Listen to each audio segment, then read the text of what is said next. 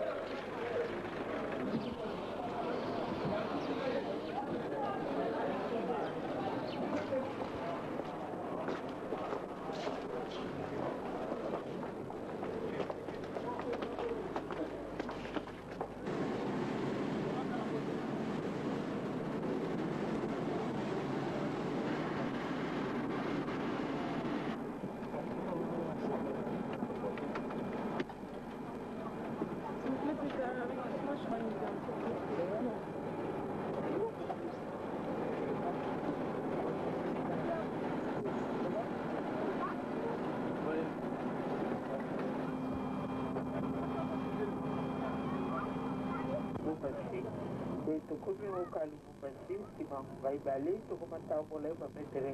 kotozoki na yoko tosengi bino okaramikanga bino mpe omelika ete totati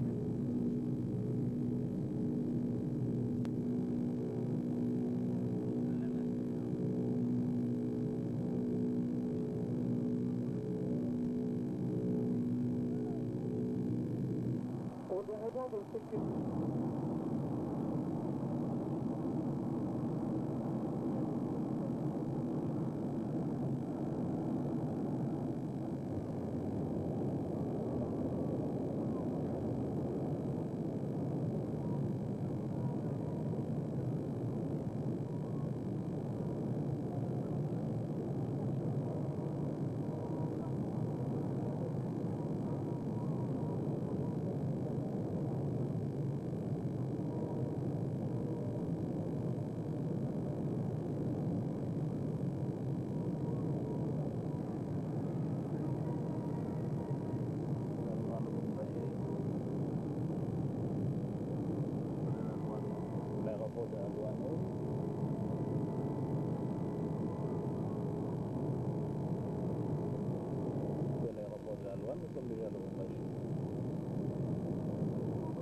de sécurité à de et de plus, de...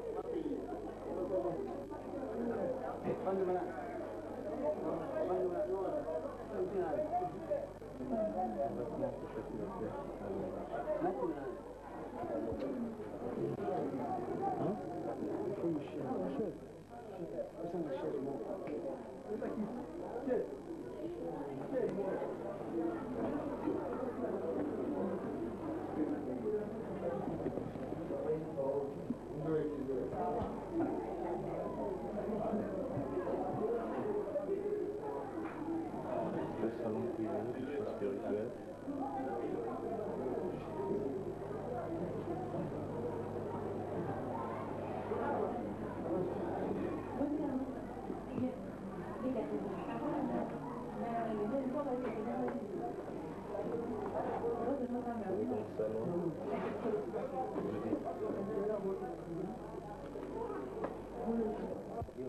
Thank you.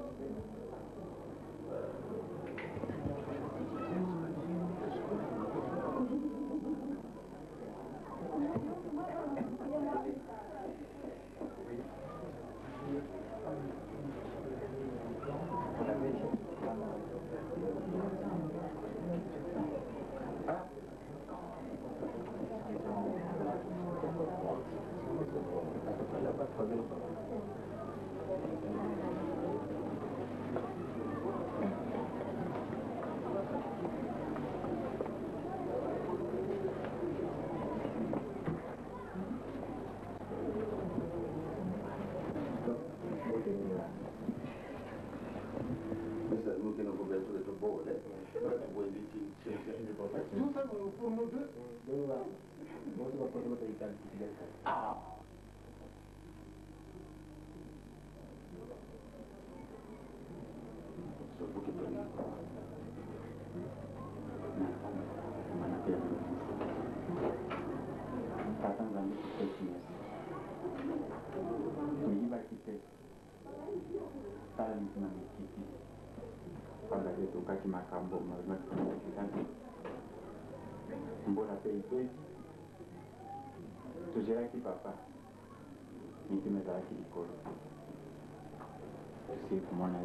yako na mamangu na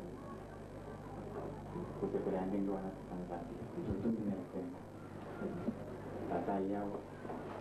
wanatupenda kutufunga pesa tunakuna msana nisimama tunakusali huyo akusali kabisa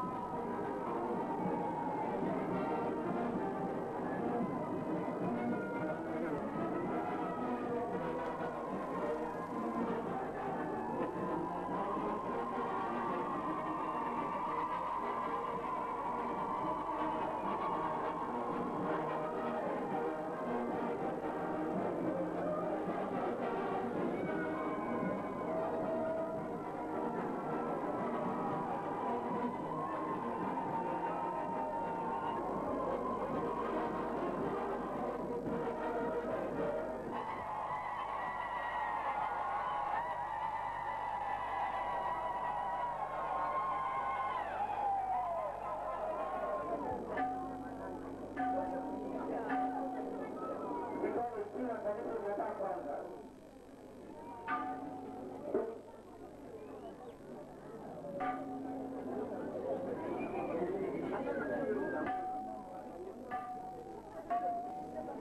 na, na retard, najua sababu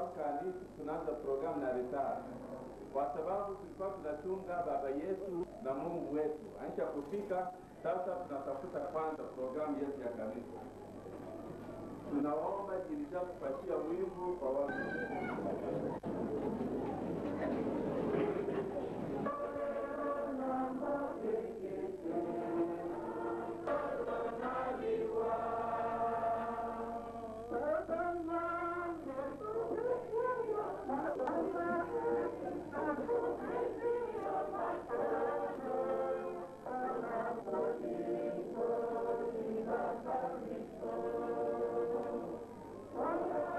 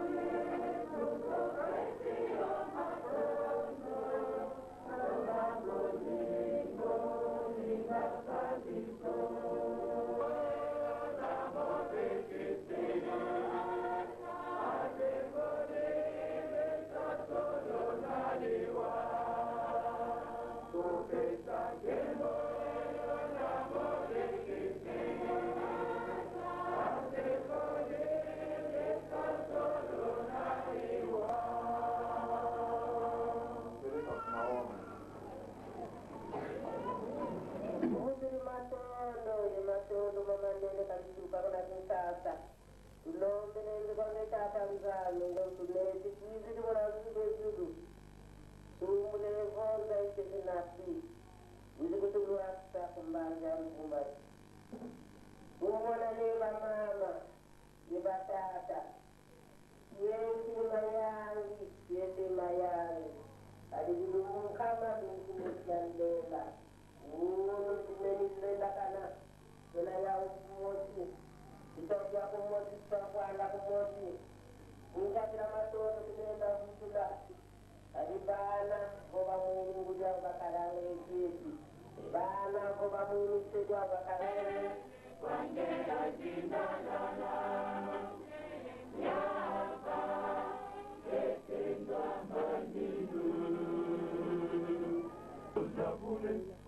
Yeah,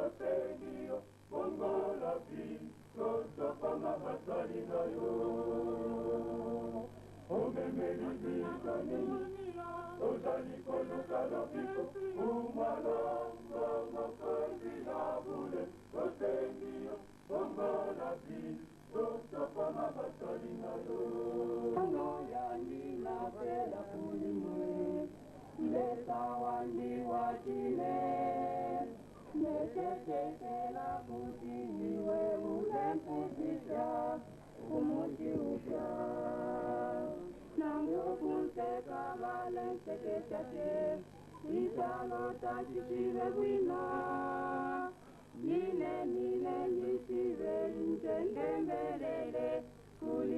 wandi na nguvu mpeka vale mtekeshake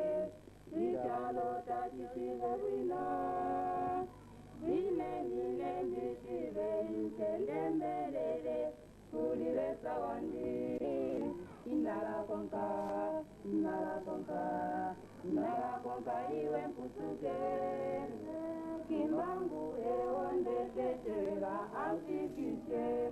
kumushi upya.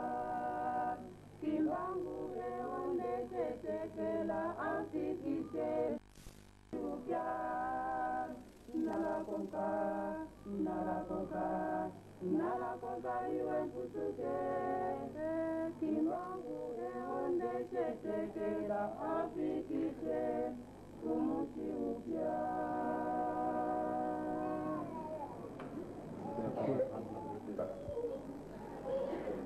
tutasoma kitabu ya kutoka chapitre makumi mbili tutaanza kumustari wa kwanza tutamaliza kumustari wa kumi na saba tutasoma kwa majina tatu takatifu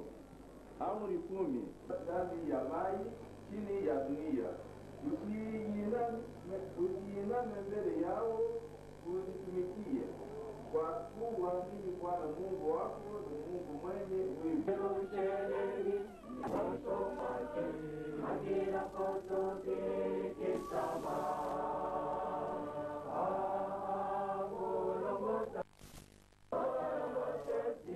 Kaya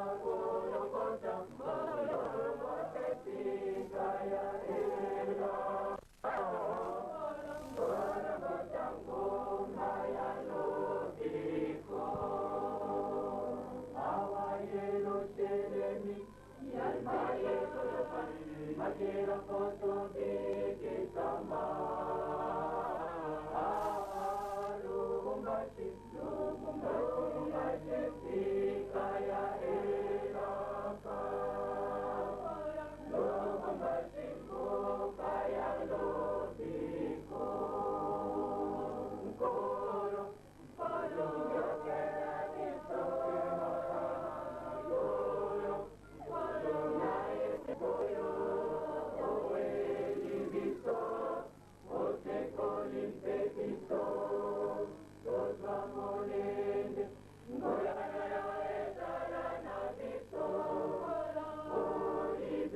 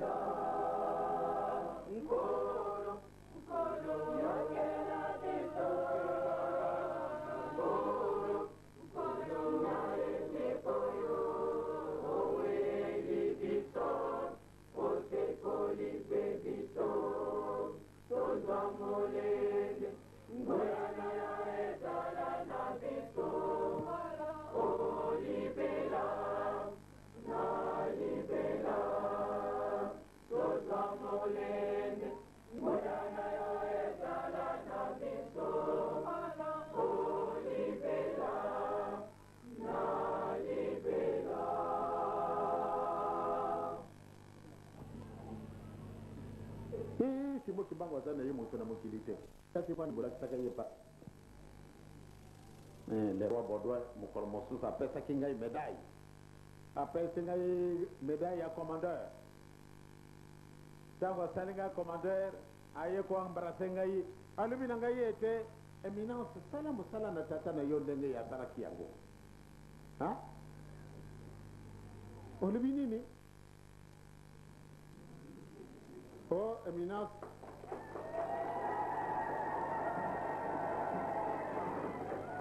sala mosala na yo ndenge tata na yo asalaki yango alobi mesa majeste me ekomi na ngai surprise olobi nasala mosala na ngai ndenge tata na ngai asalaki yango nde faites le travail de votre père comme lui-même l'avait fait ça m'a semé, pourquoi vous l'avez arrêté Ah, attention obusani bino bozalaki bawumbu il faut tokanga tata na yo pamba te mokili nyonso tu soki profete abimi te fini mokili wana bakomona po elele otali yango wana nde tokangaki tata na yo sikasika bozali indépendant yango wana nde sala ndenge bino bolingi mokili mozali mwa bino donc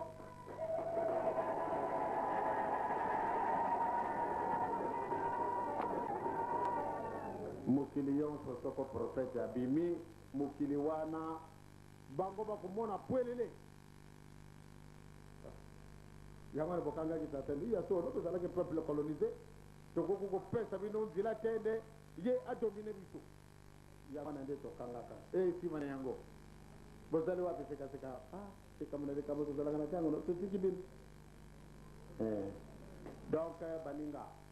mokumba ezali na biso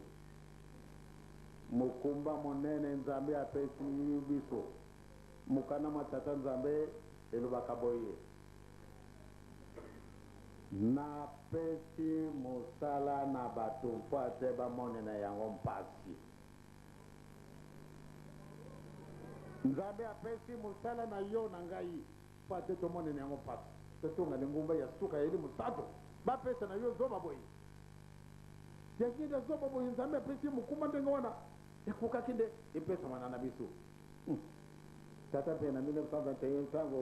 abade avant dayere ntango wana nga na butami nanu te me ntango oyo nzambe alubi ete ale yo namonaki nde nasalaki boye kasi bato babebisi sikasika wa naponi yo mpo ate osala mosala ma ngai tata alobi i ngai na eyekolo na ngai te ngai na eyekolo te ndenge ni okupesanga kamata batata paster batudu kuna na ngombe te nde ei bawana te yo kaka ezalaka secret ezalaka secret iba nano zikamata ta nzambe ezalaka secret ntango ekokaki eh, alinga alinga te mosala ebandama nkolo yesu mpe ntango amoni nde koluzu ezala koya ah tata soko moyen ezali ye eh, tika te eleka epai mosusu le 11 yango eyekaka soko ngai napasukaka elonge eh, nakimaki nakimaki mokolo oyo papa alobi na ngai nde ah, rien à faire yesu alobi na ngai yo moto koremplace ngai papa tika makambo boyo papa pardon oloba likambo ndenge wana te na remplace yo ndenge nini nde olinga olinga te mangonga na nzambe elobi na ngai yo koremplace ngai ngai nabange nga nalobi e eh, ngai sikasika awa bandeko na ngai bakolinga ngai lisusu te mama na ngai azali vivante akolinga ngai lisusu te bamama mikala batata john batata zolemile batata ndangi bakolaborateur nyonso te ya papa bazalaki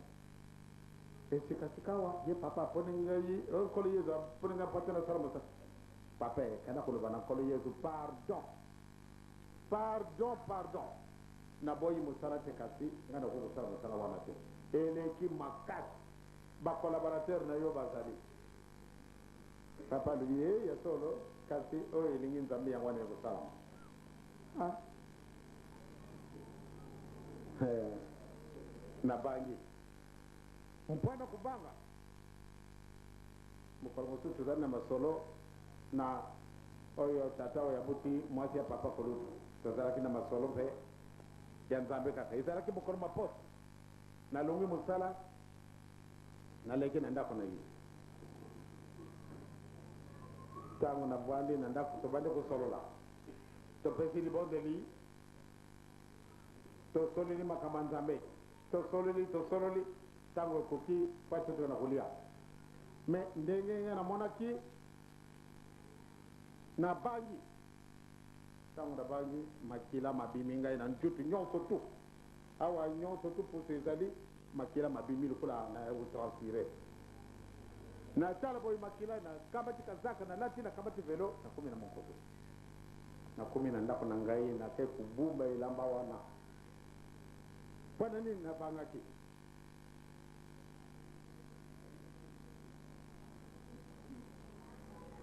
nabosanaka te nzambe azali ndenge mosusu eh bien mokolo oyo papa abimaki na lowa le 29 juillet 1952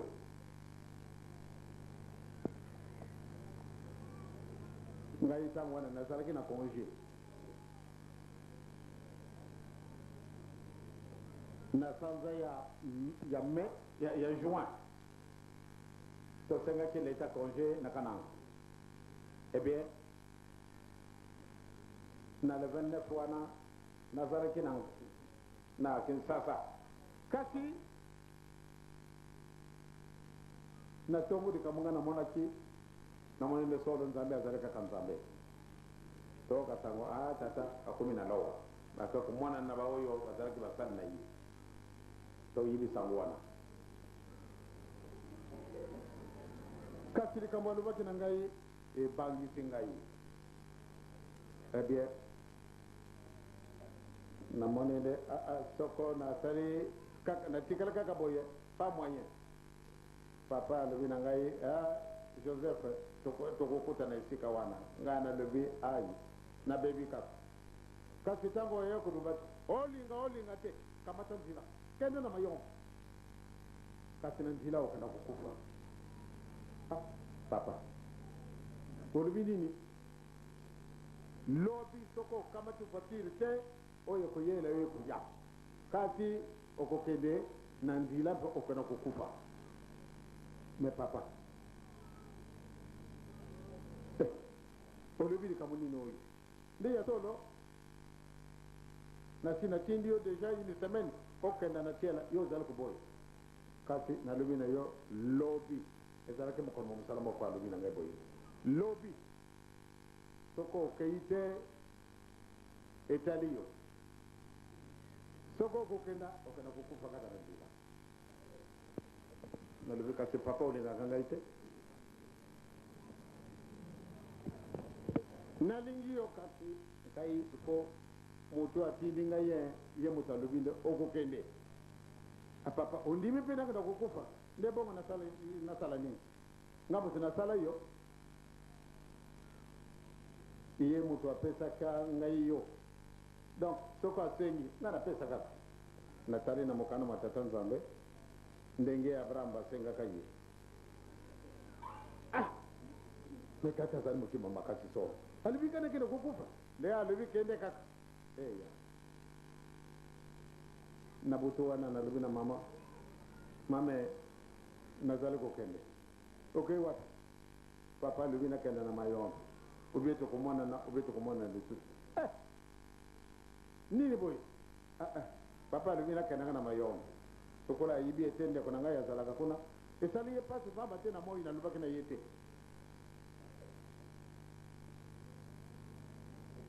ya solo na mokolo wana na mpasi na kokanisa papa alobi na ngai nakenda kokufa ah. papa vraiment kasi ndenge ni bolingo na ye wana ah. me alingaka ngai te nakei mona meki kulia mwa moke wapi makani sema ye ah, ye papa alingi ngai te nakei kufukama nabandi kubondela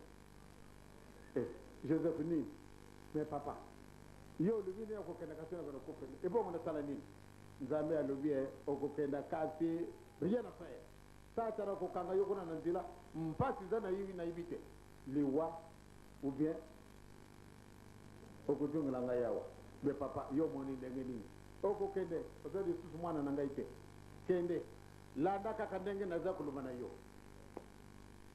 najongi na ndako mama apesa loso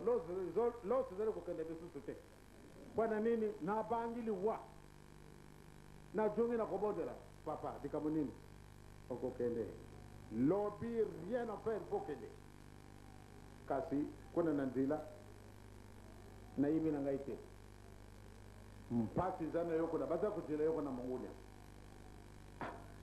mais vraiment papa okotika ngai nakena kufa kaka nde nati nalobi na yo nzambe moto apesaki ngai yo ye alobi ete okende okenda kokufa okenda kokufa te oyo elingi yango ni kosalama vraiment nabandi komona ete a ah, papa enfin likambo te eh, nakomi tokomi na minuit tokomi na une heure tokomi na deux heures nake kosukola mai ana ah, tokomi na quatre heures ngai nakamati voiture tozala kokende na libila ntango nakomi pembene nkisi na bangi ale voiture esike ale moto mpe ekufi chauffeur na ngai atunyeme papa ekasi eloko nini ekola ye moko azalaka mécanicien akiti akende kotala eloko ezali te ah papa na ye komona oyo esengo te likambo nini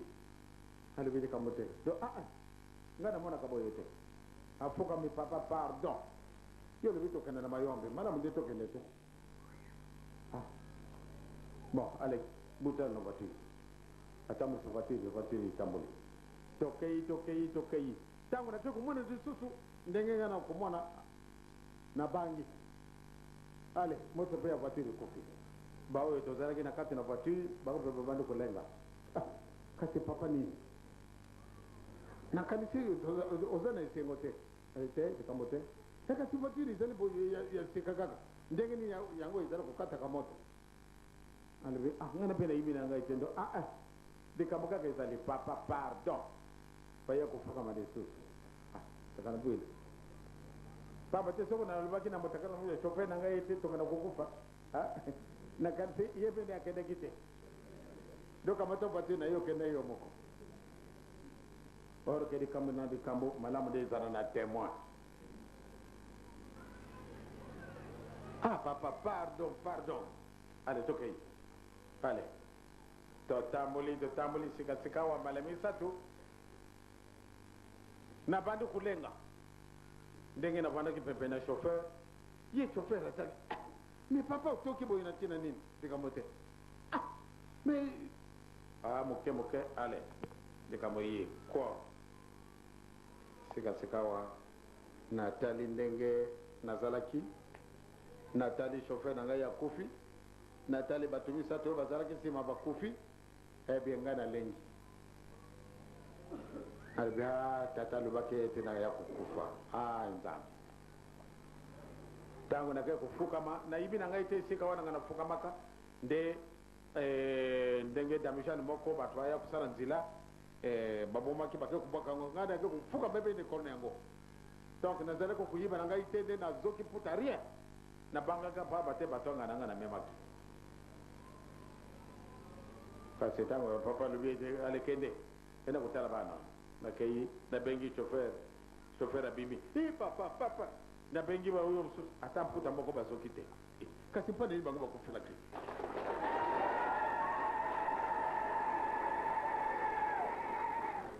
bamama batata soko likambo wana nzambe asi apesi asi apesi c'est-à-dire kilo wana ezali na yo na ngai papa na shaba mama na shaba ya solo nzambe aponaki bino ete région na bino ezala sheche ya papa simoki mbangu ndenge ni wana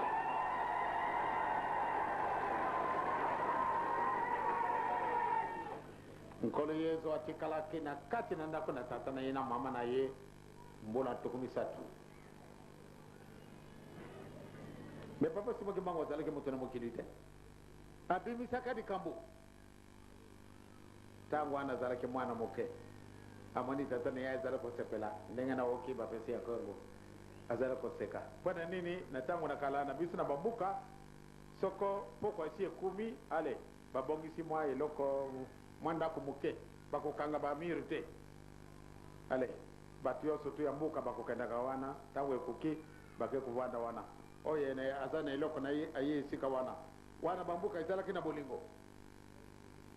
ntango ekoki na biribe ezalaki eh? Abia tangwana aleba chimoto ale oyo bakomeli nde baya kopesaka masolo na ntango na kala atala soko eloko nini abongisi ye na na ngai awa papa kimbangu akimi mbangu ale akei kuna mame papa Lubi, oyo eloko obongisi ye akenda kulia na ye kuna ah, mama lwesi be akamati eloko ya bongisaki, ale apesi na papa mokimbangu ayene yango akei kutika. bato nyonso tu bazalaki na mbuka batala mwana moke ye kaka oyo alobi ke mbango kende ye mpe akambati mbango ake kozwa bango nyonso tu na mbuka ah kimbangu sika te oyo tolingi kolia kasi malamu nde tosukola maboko kimbangu mpe akimi ake kozwa mai mai mayeba moto oyo asukuli moto oyo asukuli bango nyonso basukuli maboko ale sikasika wa batidi bondeli na bango batie biloko na bango babandi kolia pamba te ntango wana mwana moke akoki kolia esika moko na bakolo te bango bakolo basilisa kolia bakamata mwa eloko bati na sani oyo nde oyo koliela kasi soko bango bango basilisi abe papa simoki mbango bavwa nde wana basilisi kolia ale ekimbango okenda kozungisa basani papa akamati oyo akamati oyo azwaki na ndako ya tata na ye ake kotika oyo mpe mosusu bango nyonso tu ayaka na mai tosukola maboko yepe alubina yiri kambote ale akamati mayo apesi bango basukule maboko ah! bato sikasika bavandi kokobisa tata koyela ah! papa koyela ntuka obuti mwana ah, vraiment biso nyonso totindi ye mpe andimi asiliki te ye moko abongisaki moto ye moko mpe akaki kokamata biloko kolia akaki kokamata mai toli sikasika totindi azongisi basali esika tio tosengi mai antuka obuti mwana sasa kuyele sika ona pia kwandake mutu naye amapeka matumbwa mi alivia solo na buti mwana ye alubi na ye te kasi esengo ezalaki na ye pamba te bato bato me yo kuyele ndenge nini oteyaka mwana na yo biso banso totedi ye mpe andimi kaka asiriki te ye asengi kaka tata tali ye mien ale bɛna ye ten ale ba pese o y'a ye a b'a dekoli y'a kan sanwa cari caca na y'a san na ye seko ka kan sanba tɛ ban ko yɔn sɔrɔ ye ko kusa a kɛ ba ko sɔrɔ sara tɔn yɔ ko seli ka te bisi yɔ toto te ndi awa ne na seli ka dɛngɛ ni ni soko bini ba kolo bɔ lubi yɛ bisi yɔ tɔ sa la ye caca ko ye oh, la wa na wa pi ma pe ka ma tumɔ bɛna ye seko sikaseko ta ta ta tali ye ni ɔɔ papa o sera ko sɛpɛrɛ bɔ na ni ni. Eh? ndo ah pamba te namoni esengo pamba te bato nyonso baza kondimba yo endenge osali ndo e eh, papa yo papa yo yo olobi nde ngai nazali mwana na yo te ntango wana yo obutami nanu te ngai nazalaki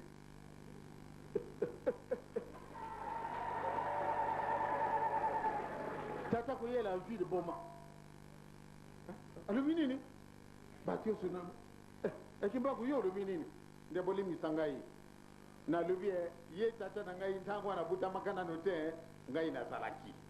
ebino eh, nyonso mpe bovandi awa ntango wana bobutamaka nano te ngai nazalaki balobi e mwana oyo abebisi ayayayaya mwana yango okomi lolendo ndenge nini oh, kimbango moto tokumisi osikatika wa obandi kowokisa bisu tata na ye soni nde bolimisa ngai pardon bino nyonso bozali awa bobutamaka nanu te nga nazalaki lelo ludate kuyela lebi yo kebe okuzwa mfimbo leno na ndako pamba te ookisinga soni nde papa akusilikana yo te kusilikana yo te ngai nalobi solo ntango wana yo obutamaka nano te na banyo nyonso bozali awa moko te aleki nga bokolo nzambe akamati ngai apesi ngai na yo nana azali moto na yo te ata ndele sango na ngai yo kotambola na mokili mobimba ya solo yo tata okozala na yo te na si nalobi na yo deja e yo mpe okozala te yo okozala te tokokenda wapi o ntango wana bosi bokufi kasi yo okotikala yo eh, ngai nakotikala ndenge nini nde yo okokufa te pamba te yo ozala mwa ndenge mosusu emokolo wana mpe yo okolinga ngai te soko ngai nasali mosala na ngai wana okolinga ngai te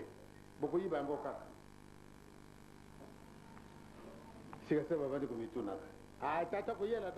silingi mpenza ale do a ah, botikala na ye nga na kai me soko akumi na ndako alelo akoyiba ngai na ye kona te aya kokutana tata koyela alali alaalin pongi lobina tongo abusana pat atuni ye pie ni kamuni noi ebi ya muke muke pe tata ko yela kufina fina ye muke muke pe mama do ya kufina fina ye batu mususu babani ko kufa babani ko kufa bawo ba laki le 6 avril bawo kaka kimbango asali boy nani o kimbango asekusi mutu kukufa ya solo bakiti noki kuna nango beke suka beke nokutela mama nge ikasi ndenge nini euh, nge na yibite ye kaka ndoki pamba te ye asimbi nge ka tsila ngo loboko na na lungwi donc nizala kaka ye mutu adiaki ngai mobali alobi ala elongwa mpona yo kaki tende asekusi na nkumu na yesu ndenge nini yesu wana ngai namonaki yesu ezalaki ye moto asala ngai boye nde te eh, bato bakiti kuna bake kotala moto oyo alobaki na biso likombo moko nde mokolo mosusu sango naye kotambola likambo nini oyo a ah, kamwana ah, alobi lisusu aa ah, babati bato babandi koya babandi koya alors bato wana babandi komona ndo a ya solo moto oyo azali ka moto ya ndenge mosusu oyo atiaki nzembe ntango oyo bakangi ye nano te abandi koyoka joi ah ye mwana moke abandi kosala makambusa ndenge boye yi bila keleke mwana na famila biso ndenge ndini oyo ah,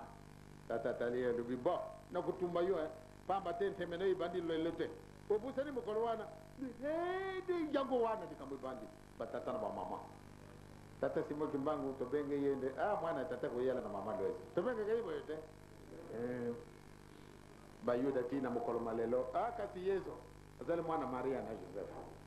kasi bini bolo yibi yezo azali nani mwana ya Zabedi. Azali nani? lelo ngai na ye tozali awa na lubumbashi ya solo mbokano bino ezali likambo moko kitoko kasi boyibaka yango te lelo nde boyibi sekre wana nayibi te ndenge nini wana bokoki koyiba likambo oyo bokenda komipakola putulu po ate bosenga bolimbisi likambo na likambo ekozalaka na ntango na yango ndenge na si na bondelaki ndenge bokokaki na mabonde na ngai ya solo tika te tata nzambe ajongisila bino nyonso tu ezali ntango bolekisi te nde ah, bambula ebele leki te pamba te ntango na yango ekokaki nanu te ntango yango ndenge esi ekoki eh, likambo na bino esili nzambe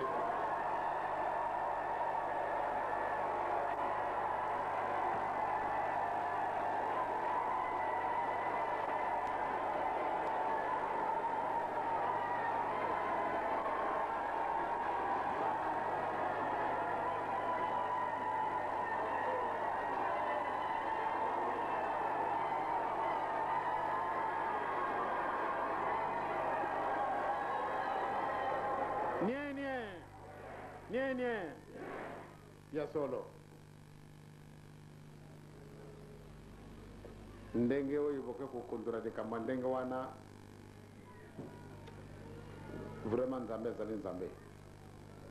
donc ndenge bosepelisi ye boye ebie eh ezali mbuka na ye te donc eh, biso tozali na esengo yango wana bokangi nzela ye te lobi na kokenda lisusu te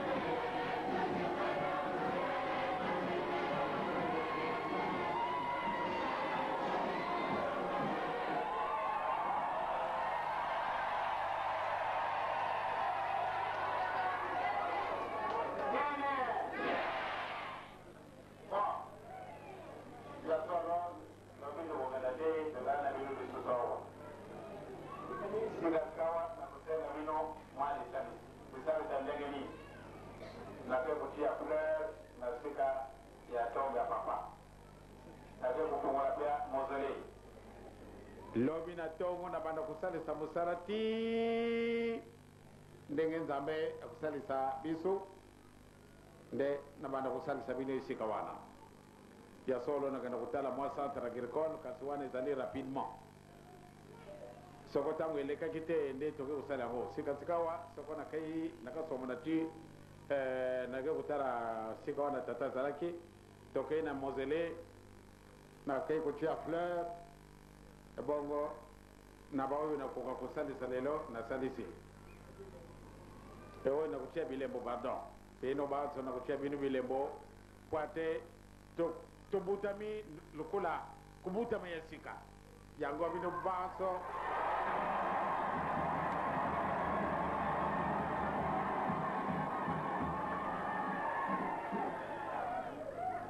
ya solo nakutia binu bilembo kwate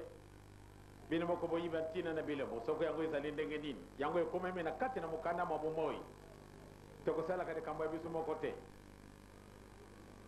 alors nakosengela na bino bamama na bino batata nde ya solo totia molene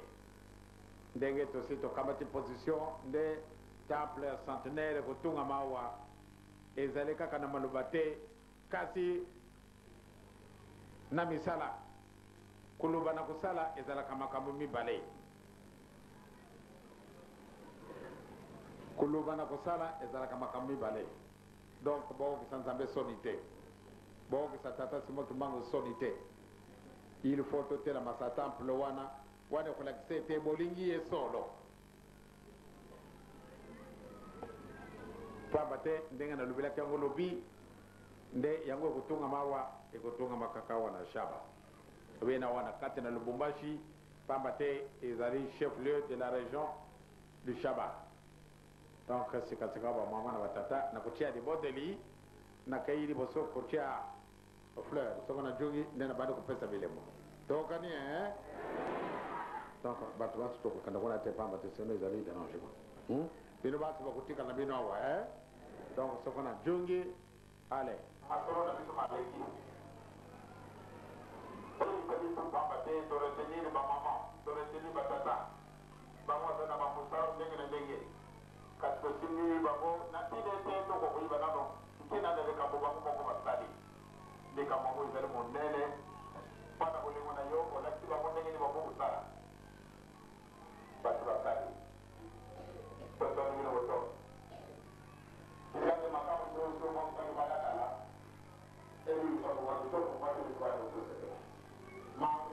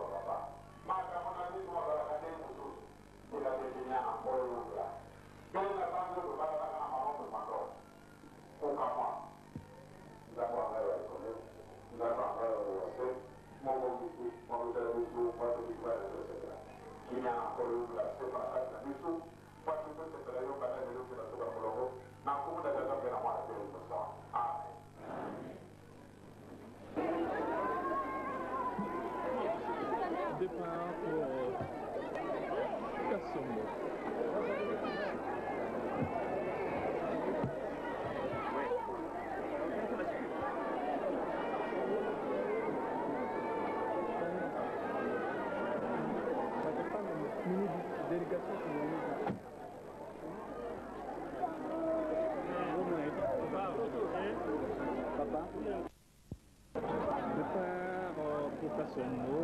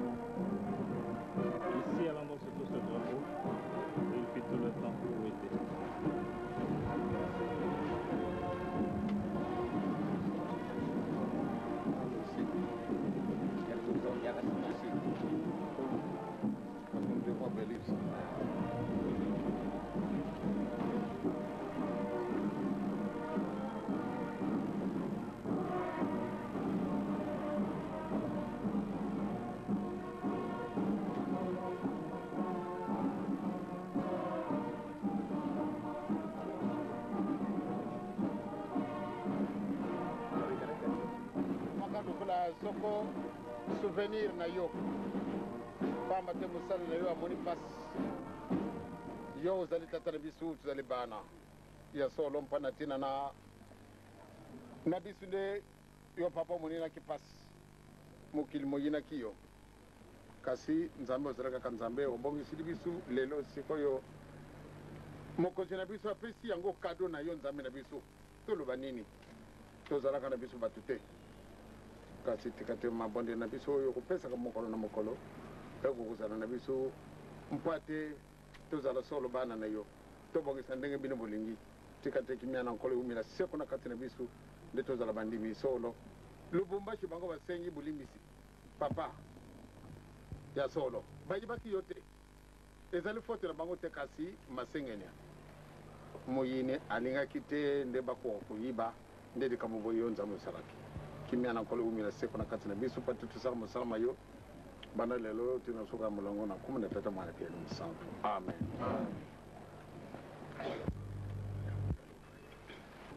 Thank you.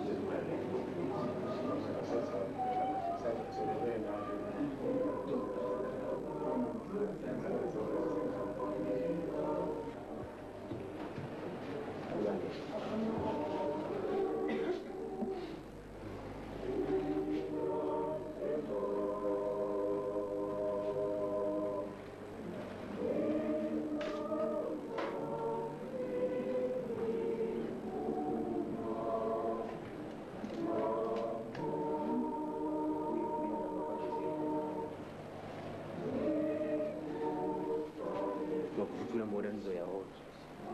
karibu ça nous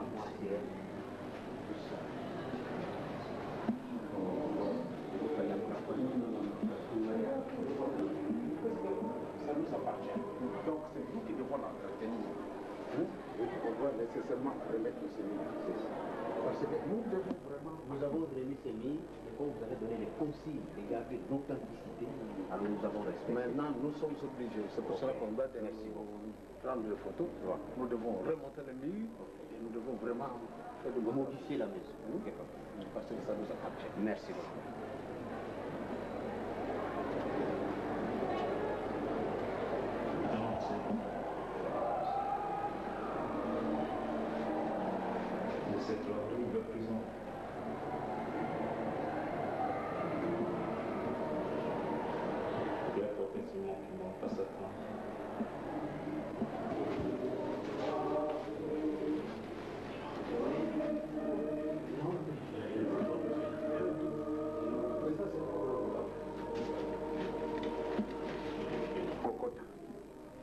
kotala mpate tobongisa yango papa yo ozalaki na yo awa bongisela biso mpate tobongisa satana soni kimia na nkolo eumela seko mpate biso bana yo tobongisa na yo banda eloti ya soka molongo na komi na tata mpe na mwana bia limusantu amen, amen.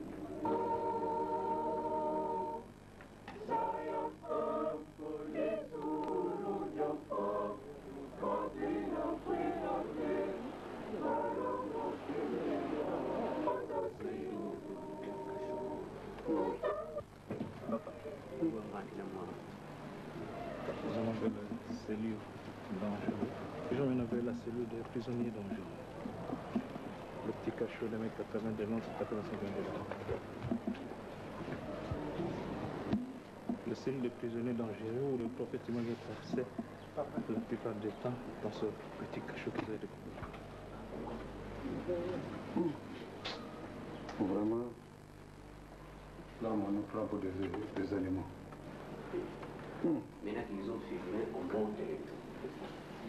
on met simplement des portes. Hein? On met des portes, on met des couleurs. Euh, oui. oui, Donc, ça veut vraiment bien entretenu. On garde les mêmes portes qu'on change.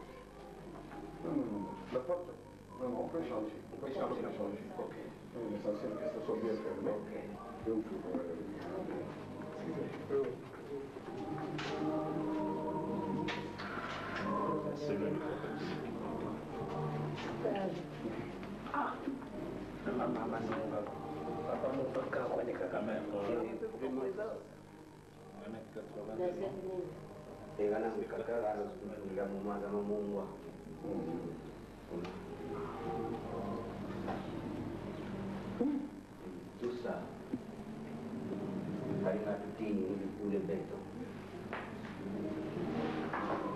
Il s'est démêlé quand on a demandé.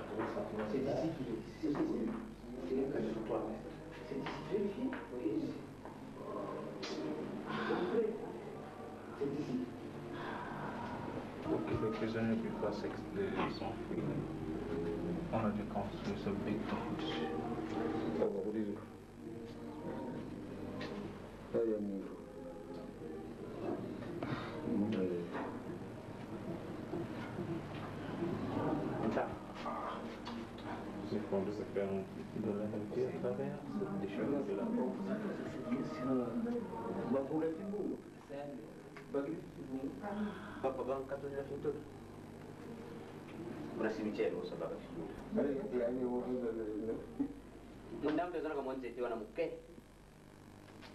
Tu vieni banga o vieni zetti a mucche frighi Spirito di competenza va passer de passer 30 les plus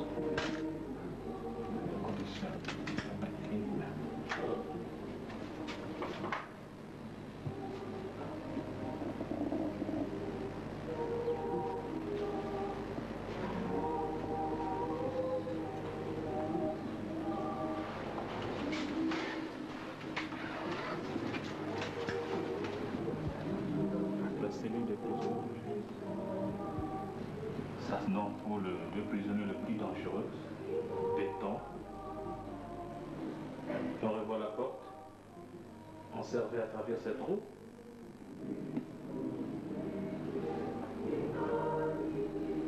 C'est ici que le prophète Simon Kimbang, quand il était mis au cachot, il passait la plupart de son temps. Et quand l'aspect de, l'autorité et le de colonel venait, on l'a déplacé dans la maison que nous avons filmée Comment voulez-vous qu'un être humain puisse passer tout ce temps ici. moi ce qui peut être le salon, salle à manger, tout ça, le et la toilette au même endroit. Quelle horreur. C'est grave. Comme je l'avais dit, la toilette. Tu manges, tu dors, tout au même endroit, tu n'as même pas l'endroit de te déplacer. La seule petite ouverture comme fenêtre, celle-là, et la porte est restée hermétiquement fermée. Il passe jour et nuit dans une petite série comme ça.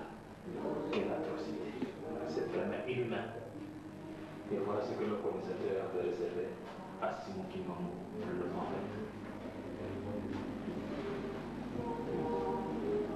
Rien que pour compris pour faire la volonté de notre Seigneur Jésus-Christ. Dans celui-là, celui-là, celui-là,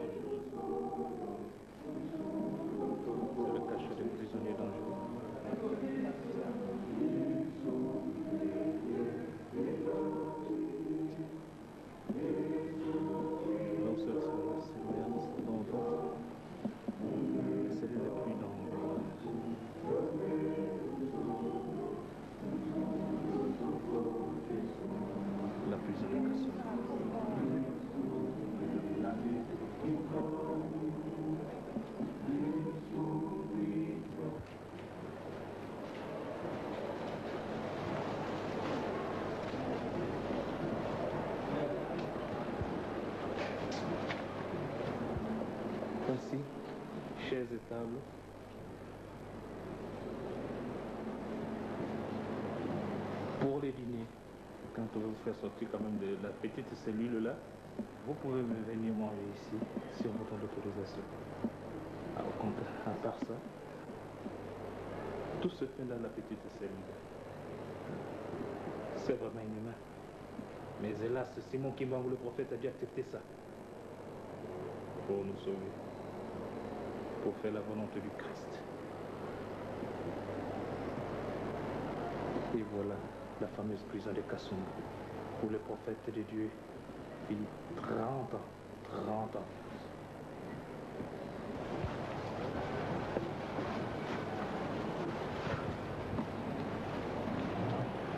C'est profond, hein? c'est profond. C'est profond. y Dunia revenait. C'est pour quitter temps. Lieu de torture.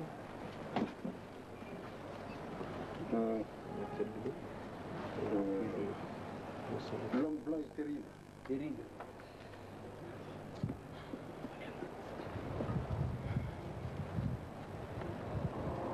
Ça, c'est qu'on avait renouvelé après la mort de papa. Quand c'était, quand il rentrait ici, jusqu'ici, on mettait de, l'eau, on met du sel, beaucoup de sel pour les geler. subiria um pergunta. Sam, não comecei em mano manda verela, juro que aqui tocando vuno quando vuno da tu tocando isso. Na nossa aba de obey to, mona é que monte que tu. Vou que kama pili ngamba leno quando mona pili akobe tu. Tanti ngi nzambo to kubigela dio. Bifugi biwon ke aqui, bisongo vou be que tu bifugi tu. Nzambia ni vou vender ngakubasa tanto mbele karpe makofunzo. maanaka su leen dee ndax bay tubee noonu ne noonu leen naa ko du jiri kele na ko tutaata du tusatise na ko tutaata muna sei mwana mwanda vila tusanakyo kati nge sei mwana mwanda vila ule kutufuisa mzoloko nyuzo lokale ibete tukalumukia wunu yentawo kamani fuluke mpile iyi muntu kafuti zingilanga tukumana sizera nsuka timana sizera kokala muntangu ikalanga kuluwe elizabeth vili ntangu wapilera kyozi kekala kulu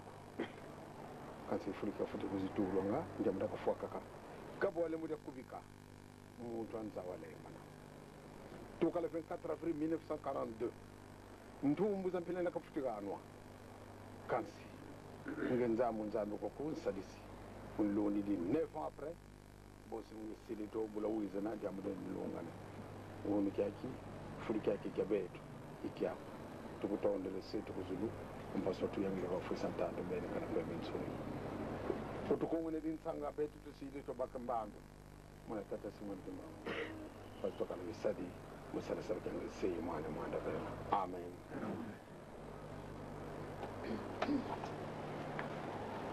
J'ai eu une torture, un petit bassin qui a été préparé. Quand le prophète euh, était mis dedans, l'eau arrivait jusqu'au cou. On mettait de l'eau, très fort, avec beaucoup de sel, et en ce moment-là, et ils avaient tué le faire très très fort pour qu'il soit géré qu'il ne n'était pas la de Les souffrance est complètement qu'il